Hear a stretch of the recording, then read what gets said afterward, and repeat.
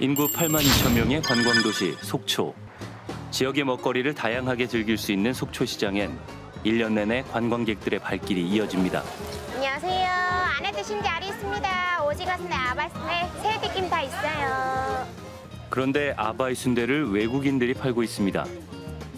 닭강정을 파는 사람도 외국인입니다. 이들은 모두 인근 대학 학생들이라고 하는데요. 학교 끝나면 2시 정도 끝나면 여기 오고 학교 안 갈 때는 여기 와서 하루 종일 한 달 내내 근무할 수도 있고 이 학생들 없으면은 어떻게 어 장사 못하죠 얘네들 없으면 진짜 우리 장사하기 되게 힘들어요 왜냐면 한국 사람들은 진짜 이런 일 안 하려고 아바이 순대를 파는 외국인들의 모습이 무척 낯설게 느껴집니다. 여기가 한국이 맞나 싶을 정도로 많은 외국인 유학생들이 직접 호객도 하고 음식도 팔고 있었는데요. 그런데 시장만이 아니었습니다. 속초의 식당에서도 공장에서도 일하는 유학생들을 만날 수 있었습니다. 유학생이 없으면 지역 경제가 돌아가지 않을 거라는 얘기까지 나오고 있었는데요. 그 이유를 알아봤습니다. 강원도 영동 지역은 이미 여러 대학들이 문을 닫았습니다. 한때 2,000명의 학생들이 있었지만 지난 2013년과 2014년 상당수 학과들이 문막과 양주 캠퍼스로 이전하면서 학령 인구가 뭐 그, 줄어드는 게 어떻게 안 돼요. 근데 이제 학생들을 빼는 거에 대해서는 지방자치단체들은 상주 인구가 줄잖아요. 지자체들하고 갈등도 그게 있어요. 그래서 갈등을 좀 해소하고 또 그 시설 돌리지도 않고. K대는 이곳을 글로벌 캠퍼스로 전환해 정원의 99%를 외국인 유학생으로 채웠습니다. 현재 23개국 950명의 유학생이 재학 중인데요. 작은 지방대학에 1000명 가까운 유학생이 몰린 데는 이유가 있었습니다. 수업을 마친 학생들은 교문 앞에 주차된 승합차들에 오릅니다. 이들이 내린 곳은 속초 농공단지. 학생들은 이곳에서 아르바이트를 하고 있었습니다. 대부분 개발도상국 출신인 이들은 일할 곳이 많은 데다 생활비가 싸기 때문에 이곳에 유학을 왔습니다. 현재 300여 명의 유학생이 농공단지에서 일을 하고 있지만 업체들은 여전히 인력난을 호소합니다. 그나마 속초의 명태 산업이 다시 일어선 건 유학생 덕분이라고 합니다.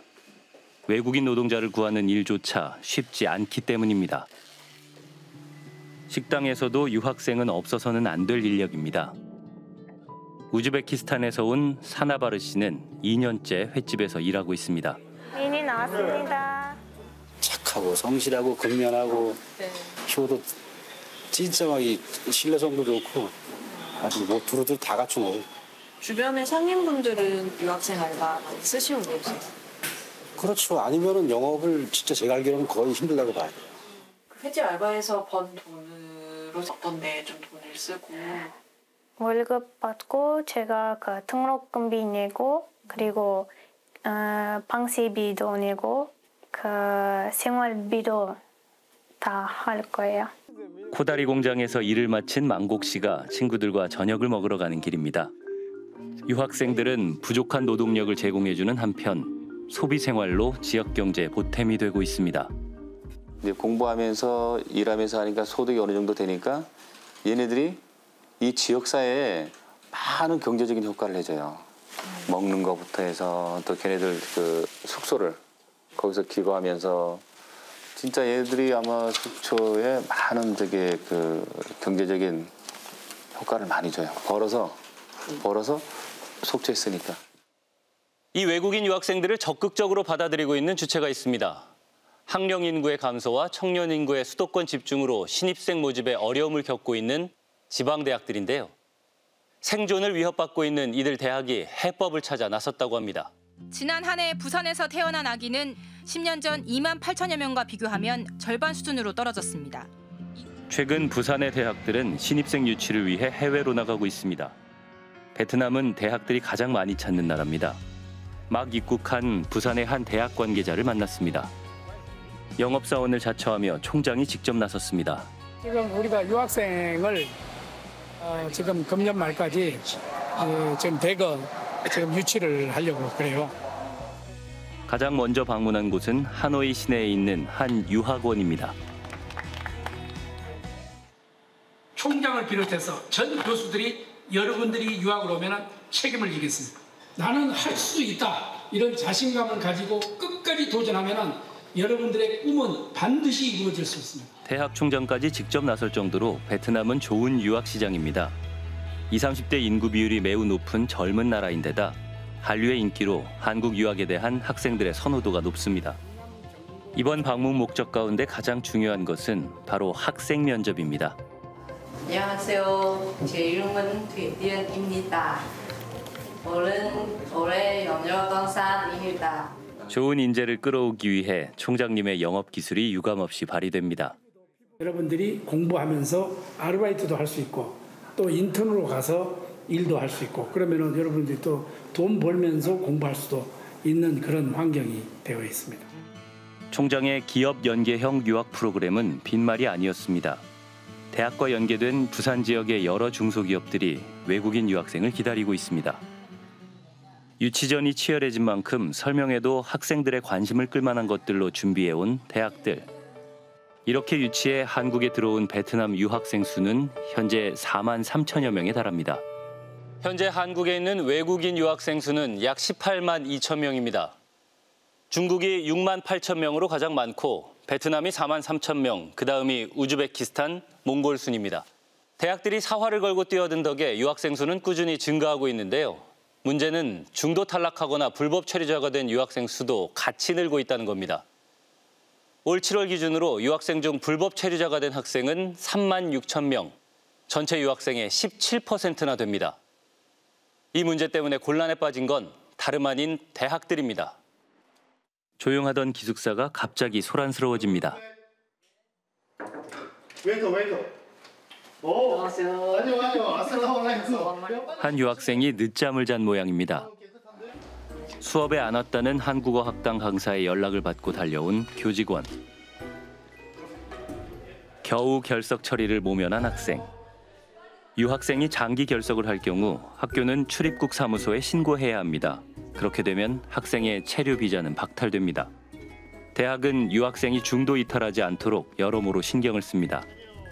크고 작은 모임을 자주 마련하는 것도 그 때문. 이 학교는 유학생들을 위해 한 달에 한 번 바비큐 파티도 합니다.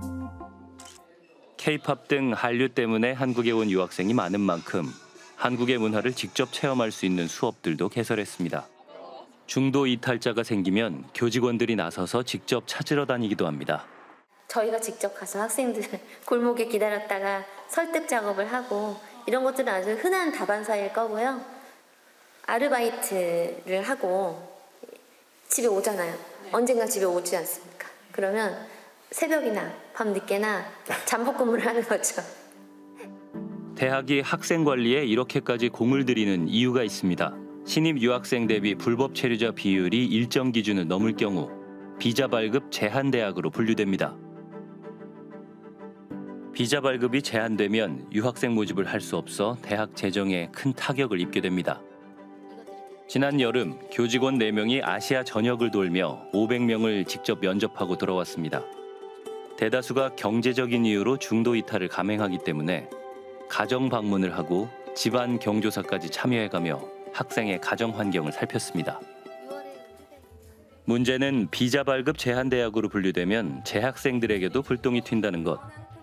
6개월 혹은 1년마다 비자 연장을 해야 하는데 출입국 사무소에서 이전보다 훨씬 까다로운 조건을 요구한다는 겁니다. 그 중에서도 잔고 증명이 가장 문제인데요.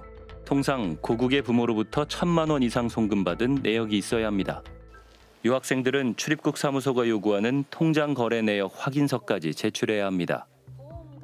통장 거래 내역 때문에 비자 연장이 거부돼 학업을 중단한 유학생들이 많다고 합니다. 유학생으로 왔다가 불법 체류자가 됐다는 안우진 씨. 4학년 2학기 졸업 시험에서 떨어졌는데 바로 출국 명령이 내려졌다고 합니다. 그냥 돌아가라고 얘기만 하고 아무 설명지도 안 내주고 그냥 내보냈거든요. 아니 여러 가지 조건을 했죠 그때. 3년에서 5년 잡고 그 안에다가 돈 좀 모으다가 돌아갈 생각이었어요. 지금은 불법 체류자 신세가 됐지만 원래 그에겐 꿈이 있었습니다. 한국에 취직할 계획이 있어요. 아는 사장님이랑 3학년도도 막 들어오라고 하고 졸업하면 받아주고 있다고 계속 얘기는 되고 있었는데 막상 그런 일은 일어나다 보니까는 저도 그 사장님이랑 연락이 끊기게 되고 그 비자가 안 되니까 아예 포기했죠. 그건. 유학생 유치부터 관리까지 대학들의 노력이 필사적인 느낌마저 드는데요. 여기서 주목해 볼 점이 있습니다. 그렇게 어렵게 유치해서 적게는 2년, 길게는 10년 가까이 공부한 유학생들이 졸업 후에 대부분 한국을 떠난다고 합니다. 사실 한국에 남아있고 싶은 유학생이 많지만 취업이 쉽지 않은데요. 작년 유학생 졸업자 취업률은 8.2%밖에 되지 않습니다. 심지어 인력난으로 힘들다는 업종조차 취업이 어렵다고 하는데요. 대체 어찌 된 일일까요? 외국인 유학생이 없으면 장사를 할 수 없다는 속초시장. 7년째 이 가게에서 아르바이트를 하고 있다는 부사르 씨. 가게에 대한 애정이 남다릅니다. If I get visa, Korean visa, and I will stay here and I will work here because I like Korea also, and then I like Korean people so kind and gentle, like. 이 가게도 성실하고 한국말도 잘하는 부사르 씨가 꼭 필요하지만 그녀는 이곳에 정규직으로 취업할 수 없습니다. 유학생이 전공과 무관한 곳에 취업하는 것은 불법이기 때문입니다. 이 졸업생 역시 전공과 맞는 일을 찾기가 너무 힘들다고 털어놓습니다. 저 경영학과 졸업했으니까 경영회사 어, 들어가야 돼요. 어, 제조회사에 들어가면 안 된다고. 그 중립국 사무소의 그거 비단 좋아요. 전공만 문제되는 것이 아닙니다. 급여 액수도 문제인데요. 이들은 연봉 3천만 원이 넘는 곳에만 취업을 할 수 있습니다. 예를 들어서 저 회사 전공이랑 맞아요. 근데 그 회사는 한 달에 250만 원밖에 안 줬어요. 근데 저 비라 변경해야 되니까 280만 원 받아야 돼요. 그거 문제이라서 어, 전수 없이 그 회사는 저 받고 싶은데 그 원급이 안 돼서 가지고 어, 전수 없이 그 계속 할 수 없어요. 코이 씨는 250만 원이면 어때요? 음, 네, 괜찮아요. 근데 어떤 일은 왜- 왜냐면 그거 한국 사람이라도 그 사무실 인 하면은 그거 250 평균이에요.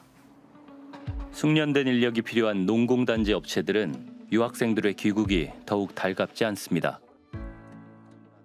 숙련을 해야 돼요. 그 제조 입장에서는 숙련이 어느 정도 되고 그러려고 되면 나면은 떠나게 되는 그런 법적인 절차가 있고 그게 좀 아쉽죠. 실제로 좀 남아서 더 일을 하고 싶어하는 학생들도 있었어요. 많죠. 거의 100%. 그 사람들이 이- 이 우리나라나 이 지역사회에 안정적인 일, 일할 수 있는 조건에서 정착을 하게끔 만들어줘야지 인구도 늘어나고 좀 이렇게 활성화될 텐데 너 나가, 너 나가 이렇게 해보니까 이 지역에서 대학을 졸업한 부황번 씨는 그 어렵다는 취직에 성공했습니다. 고등학교에서 뭐 어떤 거 공부하셨어요? 우리는 신형 한국어 전북과 학대학교예요. 전공과 무관한 일일 경우 취업 비자가 나오지 않는데 어떻게 된 일일까? 인력난이 심각한 지방자치단체가 나선 것. 우리 지역에 가장 필요한 제조업 분야의 인력에 우리 지역에 이미 공부하고 있는 학생들을 매치를 해서 이 사람들이 장기 동안 머무르고 정주를 하고 결국 영주권까지 획득할 수 있도록 서로 연결하는 프로그램을 만드는 것이 우리 지역의 지속 가능한 발전을 위해서 너무나 중요하다고 생각했기 때문에 이것을 법무장관에게 건의를 했고 이 정책이 올해 처음으로 시작이 됐습니다. 지역 특화형 비자는 인구가 감소하는 지자체에서 요건을 갖춘 외국인에게 해당 지역의 거주와 취업을 조건으로 발급해주는 비자입니다. 5년 체류 후 영주권도 신청할 수 있습니다. 그간 신입사원을 구하지 못했던 이 업체는 지역 특화형 비자 사업에 지원했고 부황번 씨를 포함해 유학생 3명을 뽑았습니다. 취업 특화 비자 같은 경우는 본인뿐만 아니고 가족도 어, 같이 거주가 가능하도록 그렇게 되어 있습니다. 그러면 이제 결국에는 하나의 어떤 중요한 어떤 그런 소비 집단이 생기는 거죠. 지역 경제 활성화의 기초가 되는 어떤 안정적인 어떤 그런 인구, 소비 인구죠. 이번 시범 사업으로 전라북도에서 비자를 받게 된 외국인은 400명. 지역의 인력 부족을 메우기엔 여전히 아쉬운 숫자입니다. 지역 특화형 비자 사업에 이어 법무부는 올해 1월 이민관리청을 신설하겠다고 발표했습니다. 법무부는 국가의 백년대교로서 이러한 난제들을 정교하게 분석하고 책임 있게 답할 수 있는 가칭 출입국 이민관리청을 신설하겠습니다. 외국인 유학생에 대한 정책도 있었습니다. 나아가 경제 성장에 기여하는 비자와 국적 정책을 지속적으로 추진하겠습니다. 외국의 숙련 인력을 유연하게 도입하고 글로벌의 우수 인재를 적극 유치해서 미래 성장 동력을 확보하겠습니다. 그런데 상반기까지 이민청 설립 로드맵을 제시하겠다던 법무부가 아직까지 관련 법안들을 공식적으로 내놓지 않고 있습니다. 에, 합계 출산율 0.78. 그건 뭐 지금까지 20, 30년 동안 했던 그 모든 그 인구 감소 대응 정책이라 할 수 있는데 이게 별 효과가 없다라는 거죠. 그러니까 이런 상황에서 할 수 있는 유일한 어, 일정한 어떤 그런 생산 인구의 유지 방법은 이민밖에 없다. 우리나라의 어떤 노동 수요에 대한 정교한 분석 또는 그 사람들을 활용할 수 있는 활용 계획 해야 할 일이 너무너무 많아요. 너무너무 지금 급합니다, 정말로. 인구가 급격히 줄어들면서 지방의 많은 것들이 함께 사라지고 있습니다. 지방 소멸이라는 난제 앞에선 우리에게 남은 시간이 많지 않습니다. PD수첩은 전국을 취재하면서 지방의 인구 감소와 인력난이 미래가 아닌 닥쳐 있는 현실이란 사실을 목격했습니다. 이 공백을 메워줄 대책이 절실한 가운데 당장 대안은 유학생과 이민자뿐이라는 분석이 나옵니다. 지방 소멸이 가속화되는 지금 이민 정책의 큰 그림을 그리고 이를 위한 제도 정비를 서둘러야 할 때입니다. 최근 김포의 서울 편입 추진을 시작으로 수도권 중심의 이른바 메가 서울 구상이 화두에 올랐습니다. 우리가 당면한 인구 감소와 지방 소멸이 서울 확대 정책보다 더 시급하고 절박한 문제 아닐까요? 대한민국의 인구 소멸 시계는 지금 더 빨라지고 있습니다. 안녕하세요. PD수첩 오승훈입니다. 어, 더 많은 영상을 보고 싶으시다면 구독과 추천 영상을 확인해 보시기 바랍니다.